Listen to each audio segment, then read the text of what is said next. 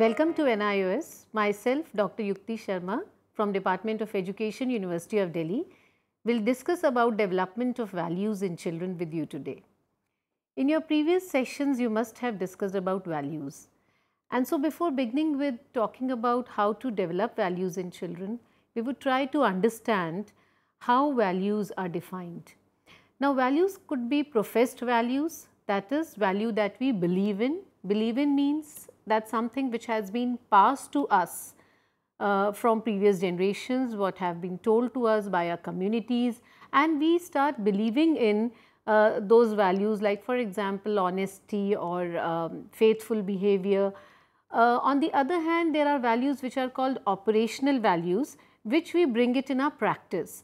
Now, it is not necessary that the values that we believe in, we do practice uh, in those values also.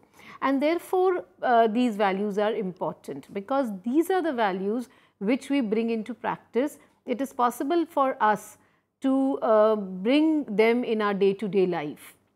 The third kind of values are what we learn from experience in order to adapt and renew traditions received from the past traditional values.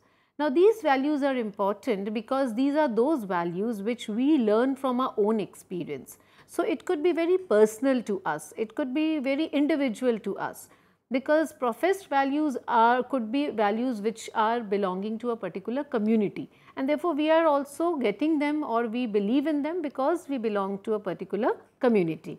But values which uh, are coming out of our own experiences are those values which we ourselves want to develop or we ourselves want to believe in because we think that these values could be beneficial for us or for others in our society.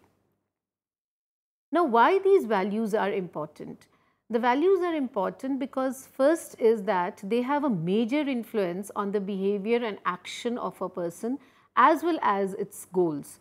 So, whatever we aspire for in our life or whatever we do in our day to day life uh, depends on what we believe in, what values we believe in. Similarly, the decisions that we take in our day to day life depends on what kind of values that we believe in. So, every part of our life, every phase of our life, every minute in our life, we have to take lots of decisions and steps which are totally uh, based on the values that we believe in. Second is that values can be developed through the processes of learning within various institutions of the society. Now, this has been proved that values are developmental. It is not that we are born with, it is that we learn them through our primary and secondary socializations. So, if we can learn them in interaction with our community, in interaction with our school, it itself proves that the values could be developed. Now, what kind of interactions these are, what kind of experiences these are, that has to be looked into and which we are going to discuss today in this particular session. The third thing is that values are important as they directly have a role in integrating the society by directing the goals of its individuals.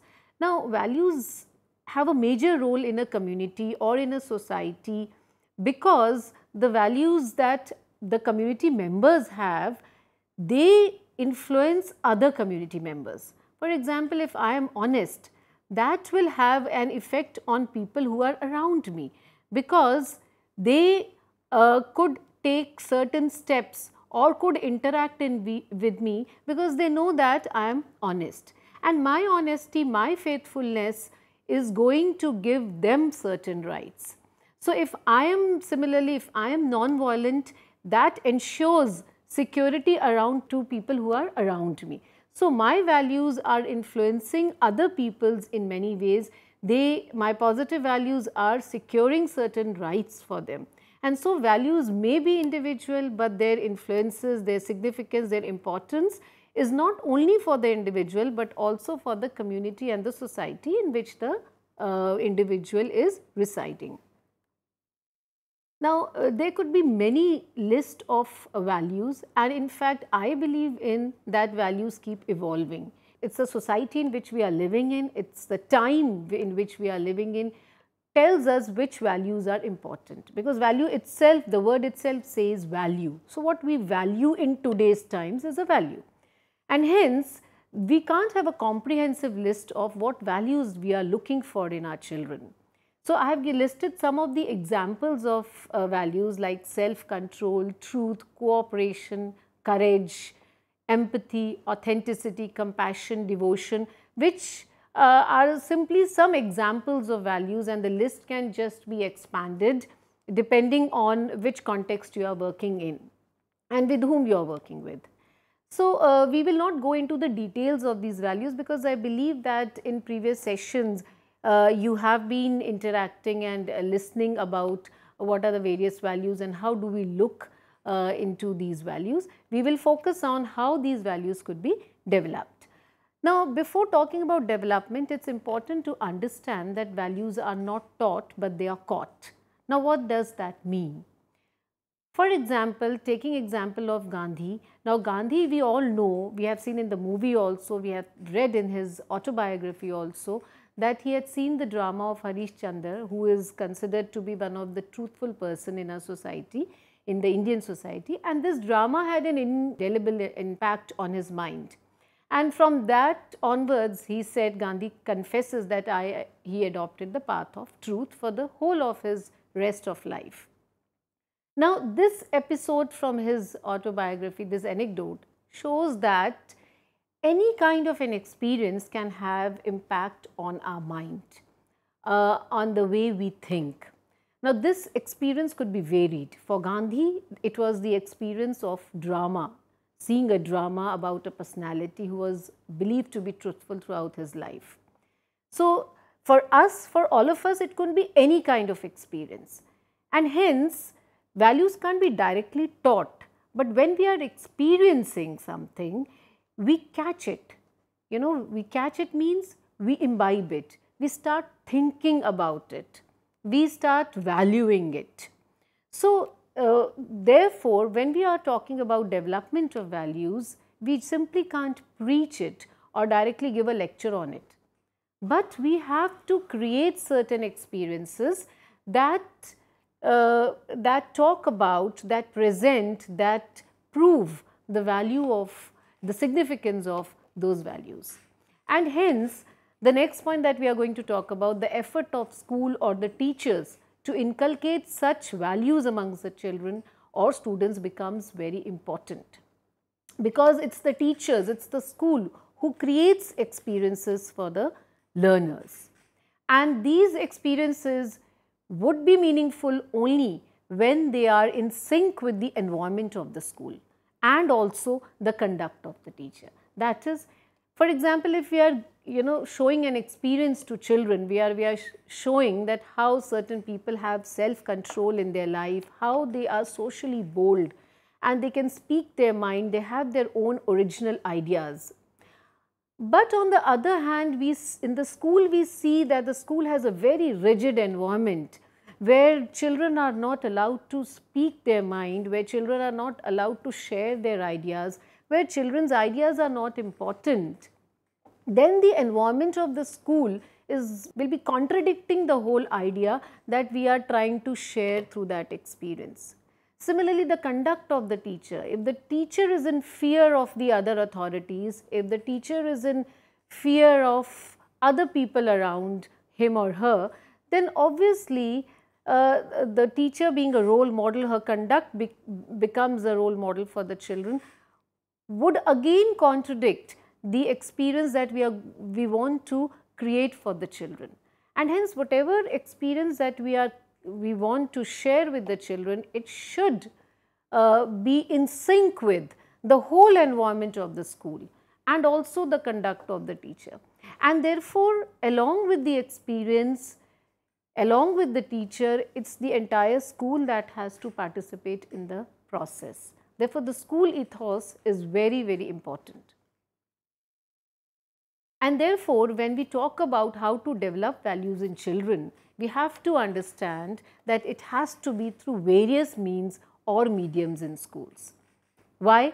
Because It's not one experience which is going to develop values in children. Develop values in children means at least they start thinking about that value. And the other thing is that what we discussed just now that it should not contradict with the other components of the school. And hence each component of the school has to be aligned with this objective. The set of activities, they have to be embedded within the regular school processes. So it should not that be that we have a special class where they, you know, they are talking about values, all kinds of values. And the, in the other classes, we just see contradicting uh, episodes being happening. So that should not happen. And that's why we don't need a separate class to um, preach or to teach about values. It should be embedded within every class that we have in our school, whether it's a mathematics class or it's a geography class or it's a drama class. In every class, we should see that what values are we promoting and that could happen the kind of content that we are selecting, the kind of activities that we are planning, how we are planning a group activity and how are we looking at the coordination within the group, how are we looking at the equality within the group, how are we looking that every child is feeling uh, wanted in the classroom, every child is feeling accepted in the classroom. So, all that has to uh, be present in every class and not that in one particular class. The other thing is that each activity should have a context as each individual functions within a context. Now, when we are acting according to or behaving according to our values, it does happen in a particular social context. It's not that we are having a separate time in our life where we are practicing our values. Then those are short lived and those don't have influence in our, uh, uh, in our major sections of our life, major parts of our life. And that is why the context is very important. Otherwise, uh, without context, if we are trying to understand value or trying to think about values, we may not be able to practice in a day-to-day -day life because every phase of our life is in embedded in a particular context, in a particular situation. And none of the situations should deter us from practicing the values in which we believe in. Last is that activities should be based on the premises that children already have values innately present in them and there is a need to create experiences and opportunities that could encourage children to put them into practice. So, this is very important. We should not think as if children uh, don't know anything children already are in the process of thinking about values. They already keep thinking what should I do, what should I not do, what is correct for me, what is not correct for me. They are always uh, engaged with such questions which are definitely oriented towards what values are, which take them to this question what a value for me is in this particular situation, in this particular context. So, it is already in them what is required is how we can encourage them, how we can give them positive feedbacks, those opportunities that reinforce that yes, what you are thinking is correct in a particular situation and therefore this is an important value for you. Now taking some uh, practices from the school, one, one of the most important practices in school is morning assembly. Now we know that morning assembly, the day the school starts with it and we know that uh, morning assembly sometimes become very ritualistic because we do a, a prayer, we give a thought of the day in that and some announcements would be there in the morning assembly. So, all this when it is monotonous and the same thing is repeated every day, the students know what is going to come next. So, everything is very predictable for them and that is why they lose interest in that. Now, if we are going to create a variety of activities in the morning assembly, definitely children are going to look forward to that what is uh, there for us today, you know. So, it could be a storytelling, it could be a discussion, it could be an interactive session with some person who has been invited, who has been working for a social cause. It could be a short play of 5 to 10 minutes which has been planned by some class students who are interested in drama and play or it could be simply a session on introspection where the teachers take the initiatives of putting some questions to students and see how they think, see how they think about their own life, their self, their identity, where they are coming from. So, it is very important sometimes to sit and introspect. Now, if we have these varieties of uh, activities where we are having a storytelling, suppose about a child who follows a particular value and how the, uh, the child's life progresses, how he has to fight in his life for that particular value. I mean all that stimulates the child to think about those values and think about oneself also that what am I doing in my life. So, these questions are important for the children to uh, think. It is important that what innately is present in them, it should come out. We are bringing what the best in the child, which is already there in the child and not preaching and burdening the child from outside. I am what I think correct, I should not assume that it would be correct for the child also because child has a different background, different socio-economic cultural background. So, some other value could be more beneficial, would be more significant for that child and that space should be given. So, it should be an open space where the child can think on their own, the children can think on their own keeping in mind their own context. The next is we could have some large group interactions. Now coming down to some smaller groups, we can plan some interclass activities. It's not that the child is always sitting in their own class, but they get opportunities to meet children from other classes also. And in that process, a talk could be organized which could be on the contemporary issues or could be uh, on decision making. Uh, some of the contemporary issues of equality, equity, what is equality, what does it mean for example, to have children from different backgrounds in the same classroom, how do I know my friend is different from me or how do I understand my friend? I see that my friend is different, but how do I understand why the my, my friend is, uh, is different from me? So, all these issues should be brought into the classroom in very subtle way by means of some talk or some situation should be given where the children have to make decisions and what arguments they give for making this decision. For example, uh, we have been hearing that there is a lot of ban on the use of plastics. Still some shopkeepers are using plastics and when we go and we approach them, they very quietly pass on a plastic to us, you know, a plastic bag to us. So, we should give such kind of a situation and tell the students that what would you do if you uh, go to a shop like this and why will you do or why will you behave in a particular way. So, uh, these are uh, situations which are coming from a day to day life. They are very simple, small issues in front of us, but definitely they invite some specific values for making decisions and those are important. So, nothing, no situation is small because it has a value behind it. Every situation is important for us. So, such small, small situations are brought to the classroom and asked from the students and then also made to do. They can do it and bring it in the classroom. How did, did it, what did, did they say, what was the response of the shopkeeper.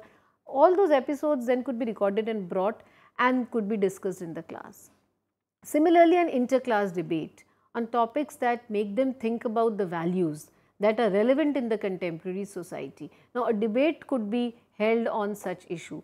For example, one topic that I had listed here is giving money to people who are begging at red lights or the streets is being empathetic towards them.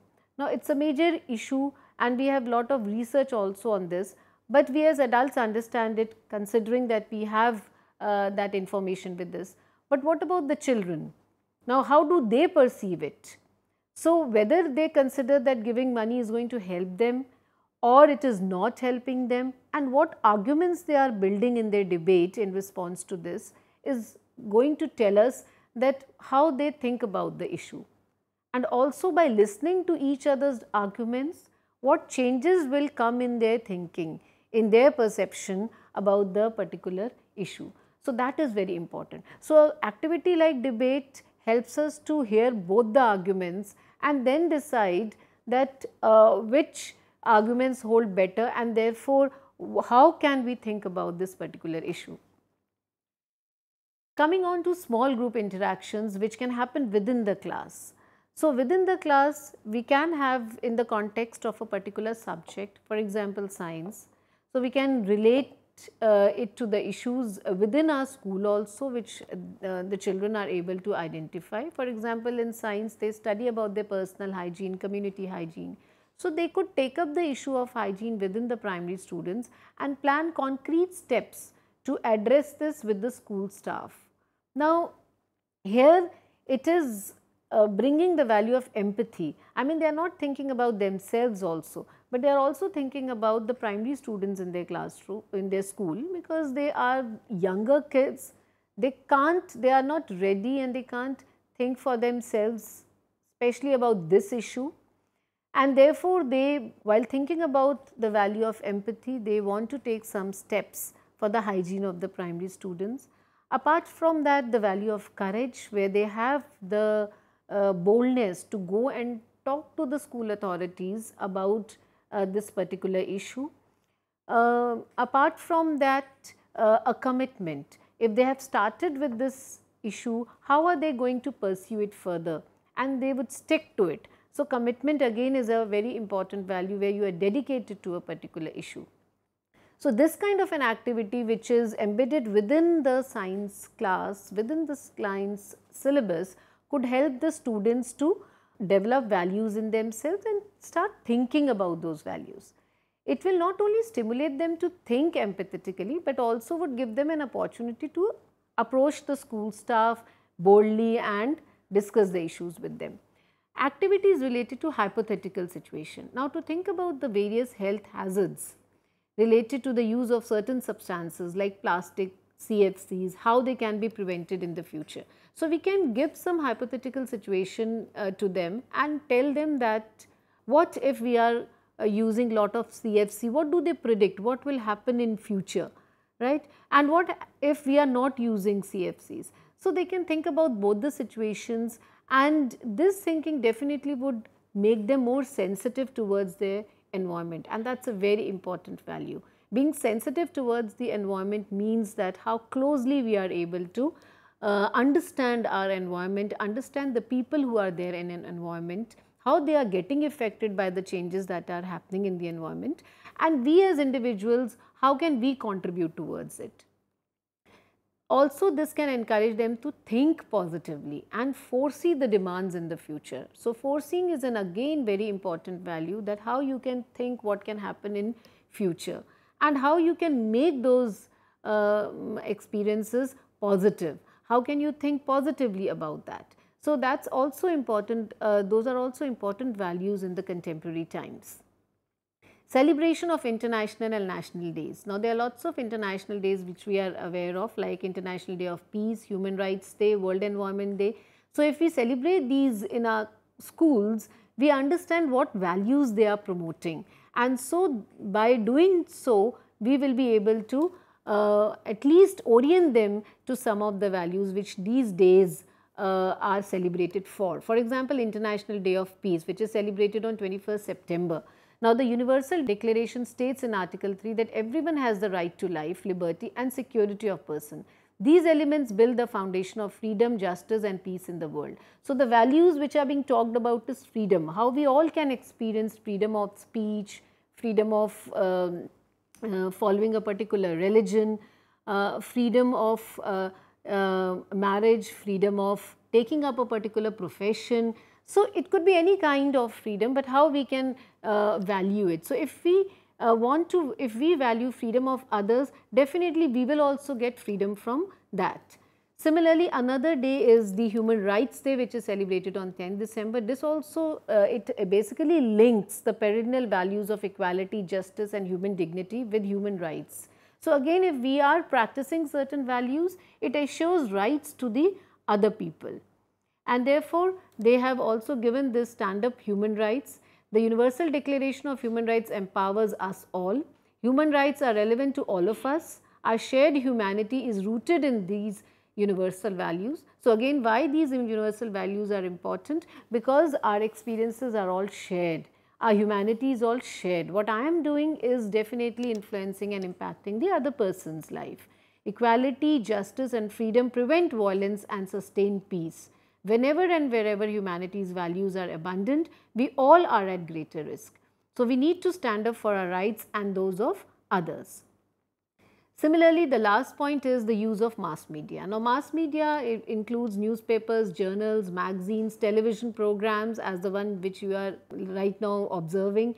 Apart from that, uh, lots of audio programs which include discussion, debates on the contemporary issues. There are lots of movies which are made on social issues. Now, these can be important ways of, uh, you know, talking about values or discussing about values with children. So, in, uh, in the end uh, there are some references and bibliography. There are two uh, readings that I have referred to which you can also refer to. They are available online uh, and therefore, we conclude that development of values 1 does not mean that it has to be taught and preached in a classroom. And secondly, it is a subtle process which requires a range of experiences throughout the school life. In fact, it is a lifelong process but when we look at in the context of school, it will be throughout my school life that I have to experience and keep thinking about it and keep evolving with it. That is what development of value means. Thank you and see you in some other session.